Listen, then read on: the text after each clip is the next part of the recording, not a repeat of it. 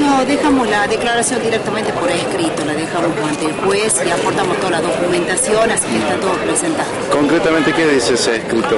Algunos puntos. Todos los procedimientos, lo cual son en materia salarial, lo cual me determina a mi liquidar y toda la, la cantidad de documentación que desde el 15 de noviembre hasta la fecha vinimos remitiendo a la provincia. O sea que todo se hizo dentro del marco de la ley. Totalmente dentro del marco de la ley y me puse a disposición del juez las veces que el juez necesite que venga a aclarar o punto.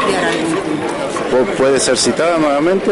No, directamente sí, me, puse a disposición de él para poder ampliar, porque es un tema, muy técnico, se aportó un montón de documentación, más de mil fojas, eh, la prueba documental, más toda, toda la defensa, digamos, que hicimos con respecto a este tema.